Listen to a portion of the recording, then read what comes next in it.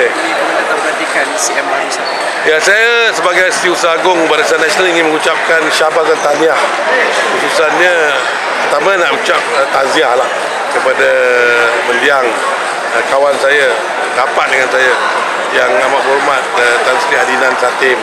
Uh, kepada Puan Sri saya ucap taziah dan kepada keluarga saya ucap taziah atas keulangannya keramatullah dan saya hanya boleh berdoa kepada Allah SWT uh, kawan saya yang berhormat Tan Sri Adinan ni akan sempatkan bersama dengan orang para awliya dan para anbiya.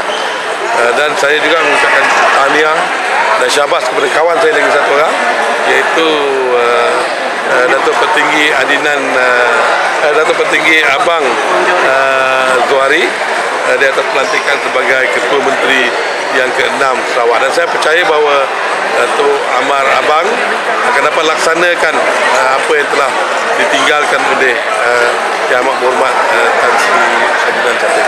Dan saya percaya bahawa BN uh, Sarawak akan bertambah kuat dan BN Sarawak akan terus uh, uh, maju di bawah kepimpinan Yang Amat Berhormat uh, Datuk Amar Abdullah.